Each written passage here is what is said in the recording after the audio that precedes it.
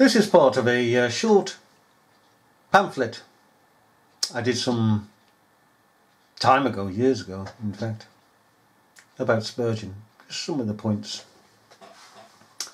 I've just come across this actually. Uh, right, let's start. Spurgeon Chancer jumps onto another popular bandwagon. This is what our fundamentalist Calvinist has to say concerning Popish free will and universal salvation heretic D.L. Moody. It has given us much pleasure to assist our brethren, Messrs. Moody and Sneaky, Sankey, that should be, at Camberwell Hall, and we would have done far more, only our enterprises demand our constant attention. Our heart is very warm towards them for their work's sake.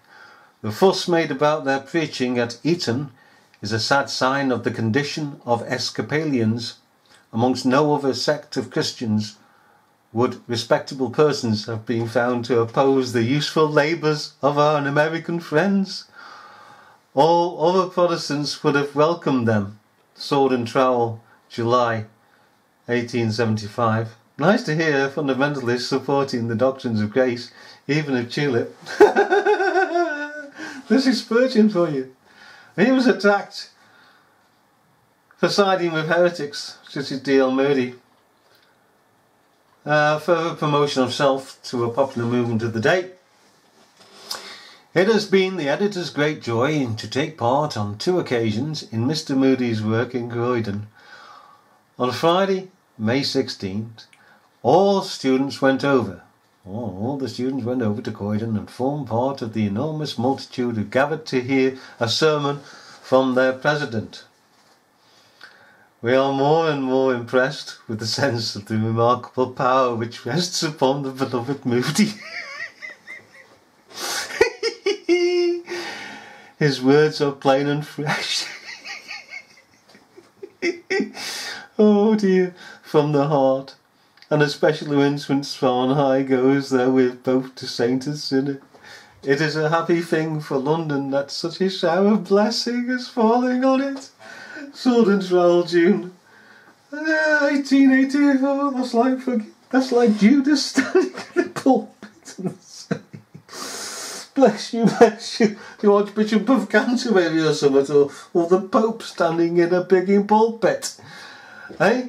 the Antichrist in a pulpit and Spurgeon going, ah, well done, oh, give him applause. I mean, the man, Moody, was a closet papist. He, he declared himself to be a closet papist. He declared himself to be a nominal Christian. He declared himself to be a bumbling idiot. He declared himself to be non doctrinal. He declared himself to be a universal salvationist, which is heresy. He declared himself to be everything that God did not want in a person, and yet Spurgeon and Moody and the rest So Oh, God blessed him. How perverse can you, the enemy get, and it is the enemy, promoting neo evangelicalism? Neo evangelicalism. Okay, before Moody spoke at the Croydon Convention, Spurgeon stood up to prepare prime the congregation by hyping up the closet papist D.L. Moody. Hmm? I want you to know to hear me a moment while I say that the brother who is now about to speak, Mr. Moody, is one whom we all love. He is not only one whom all we all love, but he is evidently one whom God loves. We feel devoutly grateful to Almighty God for raising him up and for sending him to England to preach the gospel to such great numbers with such plainness and power. We shall continue to pray for him when he has gone home. Among the things we shall pray for will be that he may come back again. Mr. Spurgeon's Jubilee, 18, 1884. Spurgeon more Arminian credentials. He was an Arminian. He was totally Arminian. In a letter addressed to Ben Nicholson, printed in the Sword and the Trowel, April 1882, Spurgeon declares that when Moody and Sankey entered London in that very sorry in that same year, much opposition was forthcoming. which hindered souls being saved. this man is called a fundamentalist. Could you picking believe it? Eh? Hindered souls being saved. So, what God is he serving? Impotent God. Oh, you know, with these neo evangelicals, their attitude is, and their heart is bent to, God being impotent. Oh, here he is. Here he is. Here's God. He is. Shake the hand with God. Hello, hello. I made my commitment. Oh, thank you. Thank you very much. This is the puny God they serve. God can't do anything. He's biting his nails. Oh, oh, I can't save them because, the, oh, I'm being hindered. Oh, oh, well, who's, who's upholding nature then? The natural world? Who is upholding the spiritual world? Who's upholding all the stars? Everything, all creation. If God is biting his chin, fingernails and can't save us all. Oh. Eh? No wonder man says, oh, we're in charge. Friends of the earth. We can save the earth. Oh no, we're going to destroy the earth. we are petrochemical plants and spraying in the air and all the rest of it. Chemicals. Eh? It's pathetic. These people are pathetic. Spurgeon is pathetic. Moody's pathetic. The people that follow him and adore them and worship them and idolatrize them, idolize them rather, they're pathetic. These are a laughing stock of hell.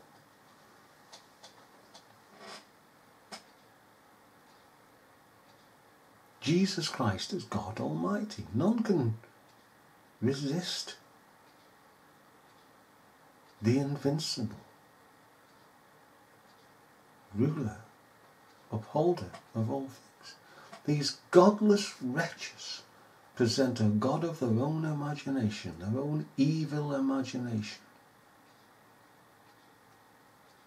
And we Christians can turn round and say to wicked men, you're going to hell. I've done it. So should others do it, and I'm sure others do it. You're going to hell. And what Spurgeon did, and his, his, his buddy boys, was to take away the authoritative side, amongst everything else, of Christianity. For us to be able to go with conviction and to say to a reprobate and see them as a reprobate and say, You're going to hell. You're going to hell. I said to a Muslim, looked him straight in the face. I said, You're going to hell. It is clear that God has reprobated you and that you will end up in hell. And he turned away because he knew where he was going. You could see it in his eyes.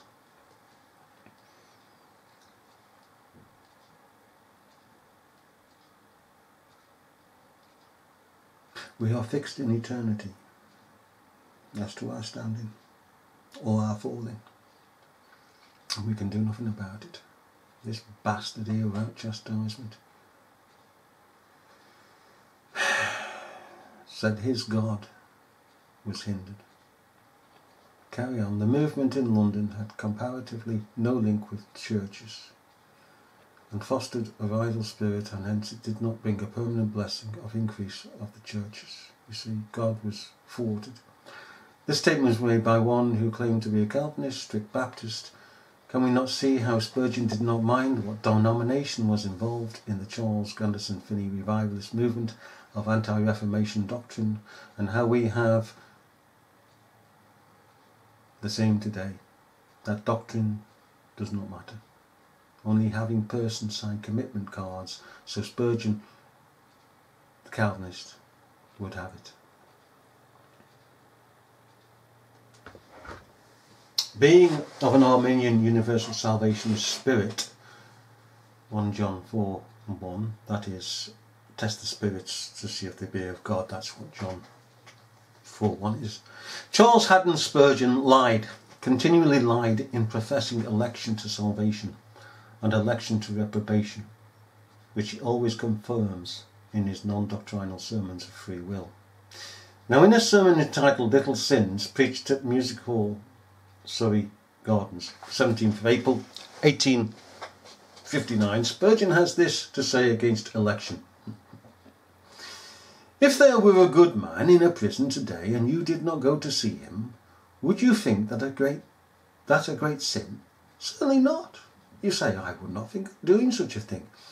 If you saw a man hungry and you did not feed him, would you think that a great sin? No, you say, I would not. Nevertheless, these are the very things for which men are sent to hell. Hmm? What said the judge? I was hungry, and you gave me no meat, thirsty, and you gave me no drink. I was sick in prison, and you visited me not. For as much as you have done this, unto the least of these, my brethren, you have not done it unto me. Just before I start on this, Spurgeon never did any of that. He never visited prisons. went to the poor. Anyhow, Spurgeon leaves out all the fact that Christ separated the sheep from the goats. He did. Before he actually said this. That sheep existed, did not come, that should read, into being through any works of theirs. Yeah, because they were sheep and they were goats. Before, again, these words were spoken, but existed, were sheep before any works done, saved without works, whilst those who adhered to works for salvation, which is contained in here, that Spurgeon said they should have done, and then they could have got saved, who adhered to works for salvation, the goats, hypocrites in revealed religion, existed. There were goats before and after their works, which all represent two sides of the same coin. Spurgeon translates, sorry, also translates the passage to refer to the day of judgment, which is something from a man so instructed of God, the Holy Ghost. Now then, go down a bit. So favoured of heaven, okay? Spurgeon translates a passage to the end of time, and whilst doing so, dethrones Jesus Christ, which the passage does not do. Spurgeon here call, calling Christ the judge instead of king, verse 34, because he was king in this passage. As it was Christ as king who divided one set of souls from the other. But Spurgeon cannot allow Christ to rule because the days were fast going away from recognizing the reign of Jesus Christ over creation. The spirit of the age going more and more over to man ruling the world, the Thomas Paine attitude that God Almighty just sits back and waits for time to run out. Spurgeon also overlooks the context together as he is addressing the world when he should be addressing his own kind who profess to serve God.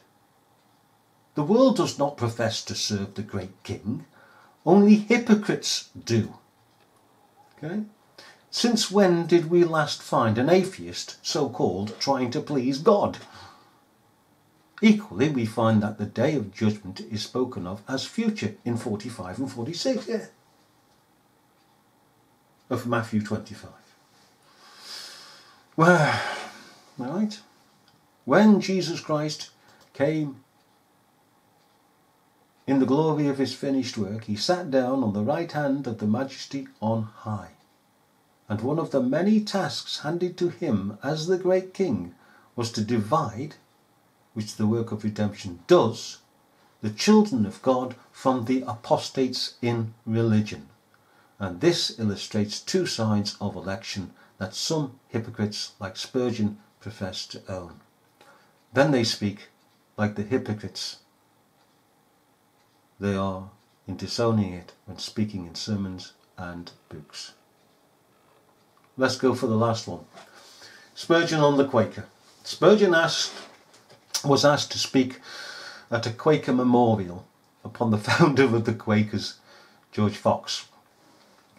So at Devonshire House on the 6th of November 1866, Spurgeon spoke upon the life and work of George Fox. Spurgeon has this to say of the event. With every great thankfulness, very great thankfulness, but bowed down under responsibility, mm, we found ourselves in the midst of a most cordial company of about 1200 friends in their meeting house at Bishopgate Street.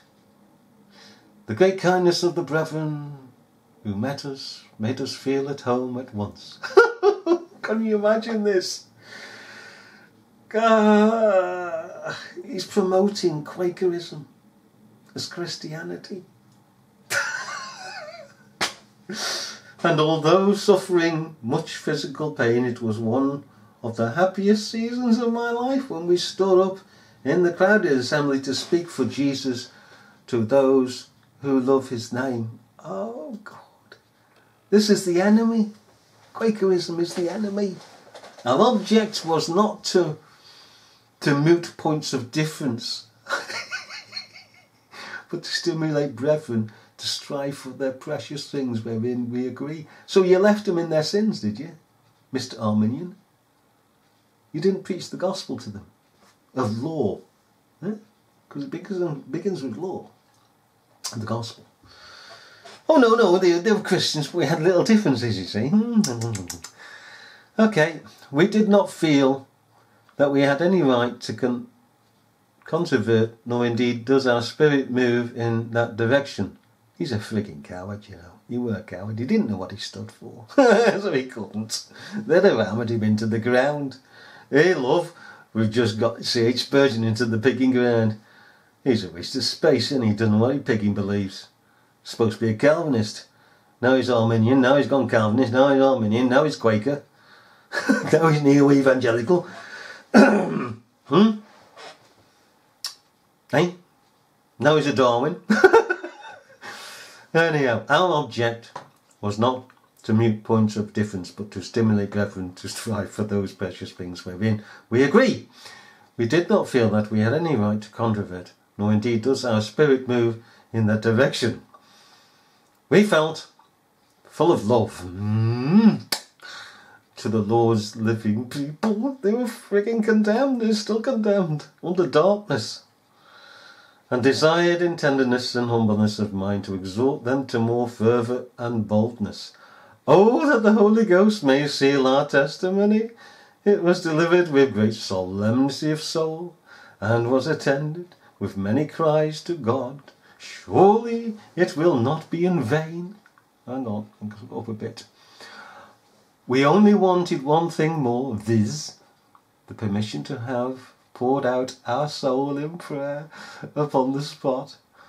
But uh, oh, how flowery is this pigging lot! But as our esteemed friend, Mr. Gilpin, seemed to indicate that silence would be preferable. Hum, bring Jesus out. Hum, he's in the soul. Hum, he's in the inner light. Hum. Can you imagine him sitting there going, hum, hum.